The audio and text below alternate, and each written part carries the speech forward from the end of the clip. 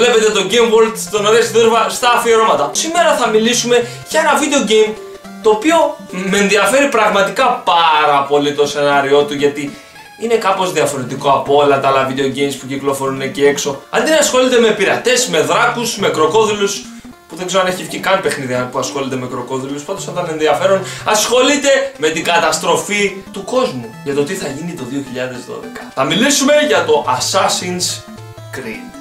Το πρώτο κεφάλαιο στην σειρά Assassin's Creed βγήκε 13 Νοεμβρίου του 2007 για το Xbox 360 και το PlayStation 3. Το σενάριο του παιχνιδιού είχε ως εξής. Όταν πρωτοξεκινάτε έχετε τον ρόλο του Desmond Miles, ενός μπάρμαν ο οποίος τον απαγάγει μια μυστηριώδες ομάδα χωρίς να ξέρει ο ίδιος καν τον λόγο, η οποία λέγεται Abstergo και τον βάζει σε μια συσκευή που λέγεται Animus. Μαθαίνουμε λοιπόν ότι αυτό το Animus είναι μια συσκευή η οποία έχει τη δυνατότητα όταν κάποιος την χρησιμοποιεί να μπει μέσα στον εγκέφαλο του χρήστη και ο χρήστης να μπορέσει να ζήσει ας πούμε κατά κάποιο τρόπο τη ζωή των προγόνων του να αναπαραστήσει τις αναμνήσεις του. Και μαθαίνουμε ότι Abstergo το κάνει αυτό ώστε να μάθει κάποιες πληροφορίες από τον πρόγονο του Desmond τον Altair τον οποίο χειριζόμαστε και στο περισσότερο παιχνίδι. Γενικά το σενάριο είναι ένα από τα δυνατά σημεία τη σειρά Assassin's Creed. Για μένα προσωπικά το πιο δυνατό σημείο της σειράς Assassin's Creed. Και όχι μόνο για το ένα, αυτό ισχύει για όλα τα Assassin's Creed. Βέβαια και τα γραφικά ήταν αρκετά εντυπωσιακά για την εποχή τους.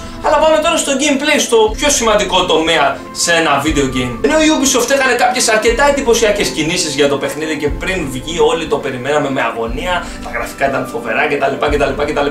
Όταν βγήκε το παιχνίδι, ήταν 50-50 ας πούμε, πικρό και γλυκό μαζί. Να ξεκινήσω λέγοντας ότι ο Altair στην αρχή του παιχνιδιού κάνει, τουλάχιστον φαίνεται να κάνει, μία πατάτα η οποία εξαγριώνει τους Assassins, δηλαδή το κλάν το οποίο ανήκει και για να συγχωρεθεί αυτό το λάθος του πρέπει να σκοτώσει 9 ηγέτες. Ενώ το παιχνίδι δεν είναι μικρό, είναι σχετικά μεγάλο παιχνίδι, είναι μονότονο. Το Assassin's Creed ανήκει στην κατηγορία Open World video game, δηλαδή κάτι σαν το Grand Theft Auto. Το πρόβλημα είναι το εξής. Είναι open world, έχει τεράστιες εκτάσεις να εξερευνήσεις, αλλά δεν υπάρχει τίποτα σε αυτές τις εκτάσεις. Μόνο κάτι ψωροσημαίε μπορείς να μαζέψεις που μαντέψτε. Μπορείς να χαλάσεις τουλάχιστον 20 ώρες να τις μαζέψεις όλες, δεν ξέρω πώς είναι 200-300 και τι κερδίσει στο τέλος, τίποτα. Ένα μηδέν.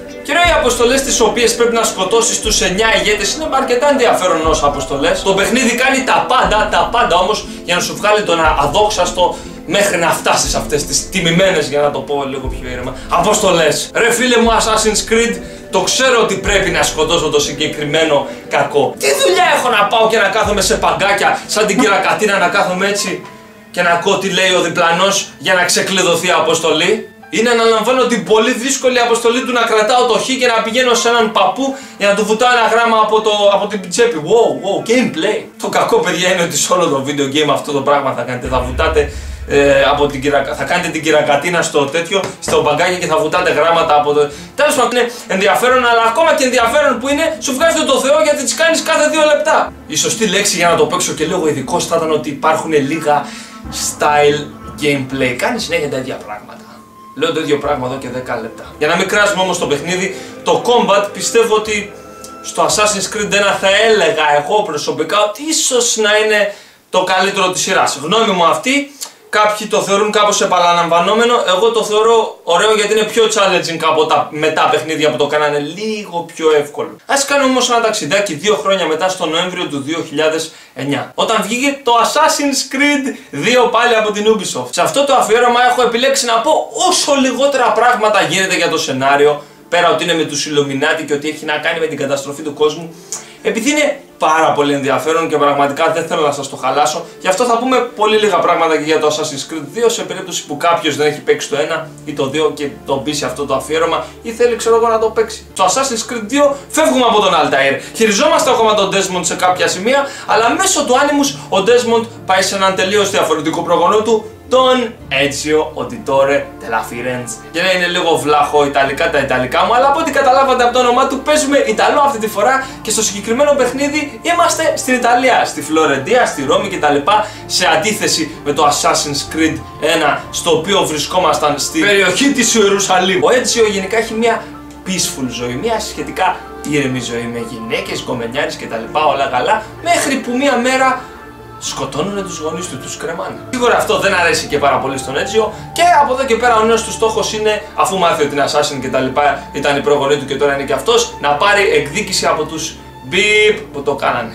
Το σενάριο είναι ακόμα πιο καλογραμμένο από ό,τι είναι το ένα Πραγματικά όταν το έπαιζα είχα μείνει ειδικά στους γρίφους του Subject 16, δεν θα πω spoilers, ήταν απίστευτο και ασχολείται με τα pieces of Eden όπως τα είδαμε και στο ένα, τα οποία είναι κάποια artifacts, κάποιες συσκευές θα το έλεγα, οι οποίες είναι ικανές να κοντρολάρουν το τι βλέπεις. Και μαθαίνουμε από τους γρίφους του Assassin's Creed 2 ότι αυτές οι συσκευές είναι υπεύθυνες για τις μεγάλες αλλαγές στον κόσμο. Τις έχουν χρησιμοποιήσει μεγάλοι ηγέτες όπως ο Hitler και αναπλάθουν τον κόσμο με κάποιο τρόπο. Και ο κακός του παιχνιδιού, ο οποίος είναι ο Πάπας, ο ίδιος ο Πάπας, παιδιά, θέλει να τη βουτήξει και ο Έτζιο προσπαθεί να τον αποτρέψει. Και να πάρει και εκδίκηση κιόλας για αυτό που έκανε στους γονείς. Μια προσωπική ανάμνηση. Θυμάμαι ότι το Assassin's Creed 1 δεν ε, με είχε αφήσει πολύ ευχαριστημένο και γι' αυτό δεν ε, ήθελα να αγοράσω το 2. Και τελικά έτυχε να βρω το Special Edition πολύ φτηνά, πάρα πολύ φτηνά, 20 ευρώ το είχα βρει. Είχα κάποιους γνωστούς τότε και τα έπαιρνα φτηνά τα παιχνίδια.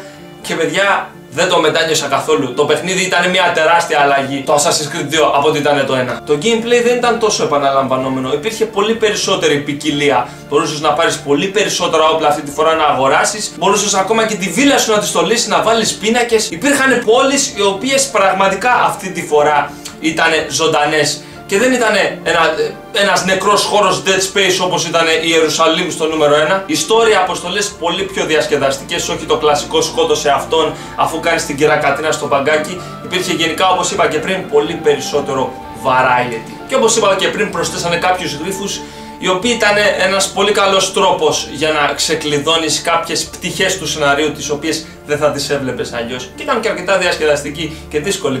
Τους περισσότερους τους είδα από το ίντερνετ το ξέρω τρέπομαι είμαι noob Το μόνο αρνητικό που θα έλεγα προσωπικά ότι είχε το Assassin's Creed 2 ήταν ότι ήταν λίγο πιο εύκολο από ότι ήταν το Assassin's Creed 1 αλλά παιδιά πραγματικά δεν νομίζω να νοιάζεται κανένας γι' αυτό. Δηλαδή άμα συγκρίνεις άμα πάρεις το Assassin's Creed 1 και το 2 δίπλα-δίπλα, η αλλαγή ήταν ριζική. Με ένα αρκετά πλούσιο storyline λοιπόν, με πάρα πολλά side missions που ένιωθες σε ένα σημείο ότι δεν θα τελειώσουν ποτέ. Και είχαν ποικιλία, δεν ήταν όπως το ένα.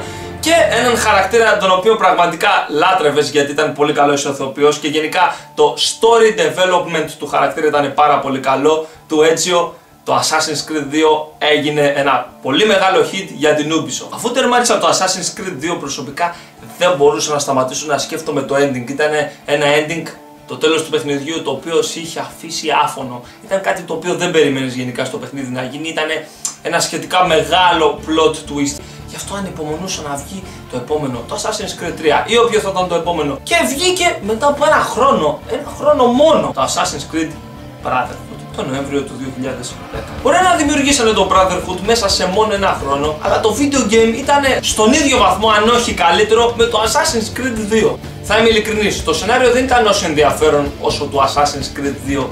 Θα το ψηλό έλεγα filler. Σενάριο απλά για να υπάρχει σενάριο, με κάποιες ε, εξαιρέσεις προς το τέλος του παιχνιδιού. Για άλλη μια φορά είμαστε από τη μία ο Desmond, από την άλλη ο Ezio.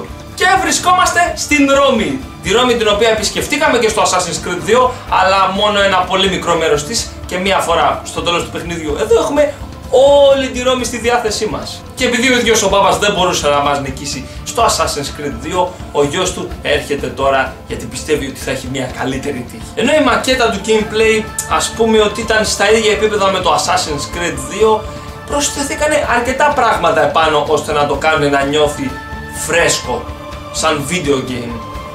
Νιώθω ότι έχω μια πίτα στο χέρι μου αυτή τη στιγμή. Στο Brotherhood ασχολούμαστε λίγο περισσότερο με την αδελφότητα των Assassins, όπως λέει και το όνομα Assassin's Creed Brotherhood. Σαν έτσι λοιπόν, σαν ηγέτης του τάγματος των Assassins τέλος πάντων, μπορείτε να βρείτε διάφορους ανθρώπους στον δρόμο και να τους πείσετε να σας ακολουθήσουν στο σκοπό σας, να γίνουν δηλαδή και αυτοί Assassins. Για πρώτη φορά λοιπόν στον κόσμο του Assassin's Creed είδαμε ένα σύστημα micromanagement με κάποια μικρά RPG στοιχεία. Παίρναμε τους Assassins, τους κάναμε level up και αυτοί με τη σειρά τους μας βοηθούσαν στις διάφορες μάχες που μπορεί να είχαμε. Ένα από τα αγαπημένα μου στοιχεία του παιχνιδιού που πραγματικά το λάτρευα ήταν ότι μπορεί να ήμασταν μόνο στη Ρώμη, αλλά μπορούσαμε να πάρουμε και κάποιες αποστολές side missions σε κάποια άλλα μέρη τα οποία δεν ήταν στη Ρώμη, αλλά ήταν κάποιοι ξέρω εγώ χάρτες, ψιλογραμμικοί ήταν, δεν ήταν τόσο open world όσο ήταν η Ρώμη. Μου άρεσε το να, να φεύγω λίγο από τη Ρώμη και να πηγαίνω σε άλλα μέρη τα οποία μπορεί να μην ήταν open world αλλά να φαινόντουσαν κατά κάποιο τρόπο ότι υπάρχει ζωή σε αυτά τα μέρη τέλος πάντων. Και ξεχάσαμε το πιο βασικό από το Brotherhood. Τι έχει το κάθε video game του 21ου αιώνα. Τέλος πάντων, κάθε video game αυτού του generation. Τι έχει; Multiplayer. Ήταν αρκετά εθιστικό. Ήταν αρκετά διαφορετικό από τα κλασικά Call of Duty και έξω που κυκλοφορούν γιατί πέρα από τα deathmatch modes και γενικά να σκοτώνω ένα τον άλλον είχε και κάποια στρατηγική. Έπρεπε να πλησιάσεις τον άλλον Assassin's Creed είναι έτσι, stealth game, να πλησιάσεις με τρόπους οι οποίοι δεν ήταν οι κλασικοί τρόποι που πάω και μπαμ, μπαμ, Πρέπει πιο κρυφά, ξέρω εγώ. Φεύγοντας λοιπόν από το Assassin's Creed Brotherhood και το αρκετά σοκαριστικό τέλος του για άλλη μια φορά που σε κάνει να περιμένεις πώς και πώς το τι θα γίνει μετά. Περιμέναμε θα βγει πάλι το Assassin's Creed 3 και μαθαίνουμε ότι θα βγει άλλο ένα Assassin's Creed πριν το 3 το Assassin's Creed Revelations. Πότε θα βγει; Πάλι μέσα σε έναν χρόνο. Και ήταν που όλοι αρχίζαμε να φοβόμαστε. Μήπως το Assassin's Creed θα αρχίσει να γίνεται όπως ήταν και το ένα μονότονο σαν σειρά. Δηλαδή τι το είδατε ρε παιδιά, Call of Duty κάθε χρόνο να βγάζουμε και ένα Assassin's Creed; Και αφού πήγα και πήρα το Revelations προσωπικά, η απάντησή μου για το αν έγινε ένα Call of Duty τέλος πάντων είναι η εξής. Και ναι και όχι. Το Revelations βγήκε τον Νοέμβριο του 2011 όπως είπαμε και πριν. Νοέμβριος είναι ο μήνας γενικά που βγαίνουν τα περισσότερα όλα βασικά Assassin's Creed. Και για άλλη μια φορά χειριζόμασταν τον Desmond, τον Ezio, αλλά αυτή τη φορά παίζαμε και λίγο τον Altair. Τίποτα για το σενάριο γιατί θα κάνω spoil το προηγούμενο νούμερο παρά ότι ο Έτσιο στην αρχή του παιχνιδιού ψάχνει κάποια κλειδιά για να ανοίξει κάποια μυστηριώδες πόρτα η οποία κρύβει κάποια μυστικά. Και το παιχνίδι διαδραματιζόταν στην Κωνσταντινούπολη όπου υπάρχουν και πάρα πολλοί Έλληνες για να σε βρίζουν συνέχεια και να σου λένε τη λέξη με το μη. Δεν ξέρω αν επιτρέπεται να τυπώ στο Game World και διάφορα άλλα. Ένας έλεγε Πουλάω ψάρια! Οι αλλαγές στο gameplay είναι σχετικά λίγες και μικρές. Μπορείς να φτιάξεις βόμβες wow, μπορώ να φτιάξω βόμβες, wow. Αλλά κάποιες από αυτές είναι περισσότερο ενοχλητικές και σπαστικές παρά τι δουλειά έχει ένα Tower Defense Game στο Assassin's Creed μου; Αν θέλω να παίξω ένα Tower Defense Game, θα πάω στο Ιντερνετ, θα βρω ένα από τα 3 εκατομμύρια free flash games που υπάρχουν και θα το παίξω. Αν θέλω να παίξω κάτι με καλό σενάριο και διασκεδαστικό, θα παίξω το Assassin's Creed. Γι' αυτό το λόγο, γιατί το βάλατε στο παιχνίδι και μάλιστα το κάνατε και βασικό μέρος του σενάριου να, το, να πρέπει να το παίξω Sony και καλά θέλω δεν θέλω και να βλαστημάω την ώρα και τη στιγμή που αγόρασα το παιχνίδι. Και σαν να μην έχουμε και τα Tower Defense Games, έχουμε κάτι ακόμα χειρότερο.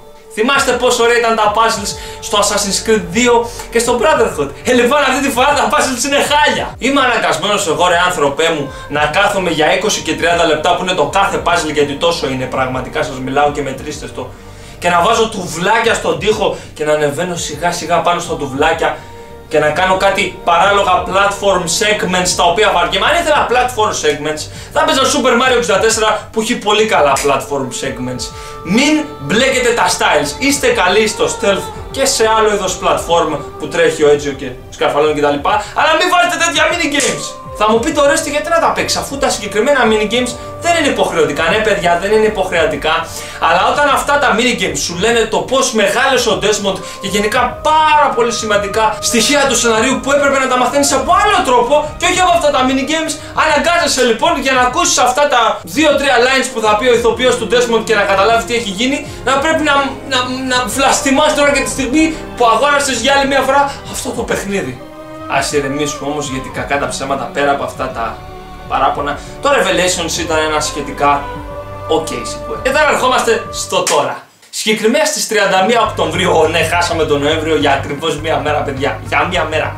Για μία μέρα θα σπάσει αυτό το tradition που υπάρχει. Στις 31 Οκτωβρίου του 2012 το Assassin's Creed 3. Θα παίζουμε τον Connor, έναν διαφορετικό Assassin αυτή τη στιγμή, πάλι πρόγονο του Desmond, και ότι θα είναι στην εποχή της Αμερικάνικης Επανάστασης. Βέβαια, πολλοί θα πούνε τώρα να το περιμένω ή να μην το περιμένω γιατί το Brotherhood και το Revelations δεν μου πολύ άρεσε, δεν άλλαξε πολύ τη φόρμουλα. Κάποιοι fans αυτό λένε. Η αλήθεια είναι, παιδιά, ότι το 3 άλλαξε τη φόρμουλα, έχει καινούργιο engine και αυτό το 3 υπάρχει λόγος που υπάρχει στο τέλος. Η σειρά Assassin's Creed ξεκίνησε με τη σκέψη του 2012, της καταστροφής του Δεκεμβρίου. Και κοιτάξτε πόσο κοντά είμαστε. Έχουμε ακριβώς ένα μήνα για να παίξουμε αυτό το παιχνίδι. Δυστυχώς Δεν θα προλάβω να παίξω τον Grand Theft Auto 5, αλλά τουλάχιστον θα προλάβω να παίξω το Assassin's Creed 3 και μάλλον να δω εκεί πέρα την καταστροφή του κόσμου, την καταστροφή του κόσμου πριν τη δω στην αληθινή ζωή. Αυτά παιδιά για αυτό το αφιέρωμα. Δεν σας λέω καν να κάνετε βίντεο απαντήσεις γιατί δεν θα κάνετε βίντεο απαντήσεις. Γι' αυτό απλά σας λέω να αφήσετε ένα comment από κάτω και να μου πείτε τις αναμνήσεις σας από το παιχνίδι. Όποιος είναι αρκετά μάγος και μάγκας και φοβερός να κάνει βίντεο απάντηση είναι welcome να το κάνει, αν και δεν θα το κάνει είμαι σίγουρος. Αυτά για αυτή τη βδομάδα. Bye guys.